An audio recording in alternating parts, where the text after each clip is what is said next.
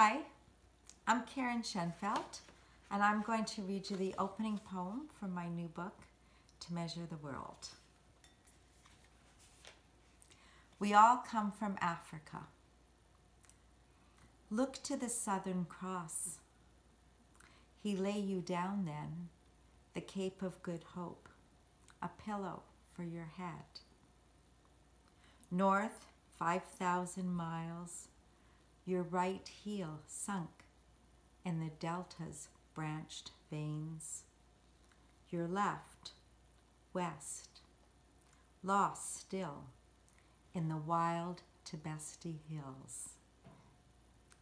Then down he lay you, the blades of your shoulders slicing Richard's Bay, the river's orange mouth the shy backs of your knees, shadowing Nubia and Cameroon.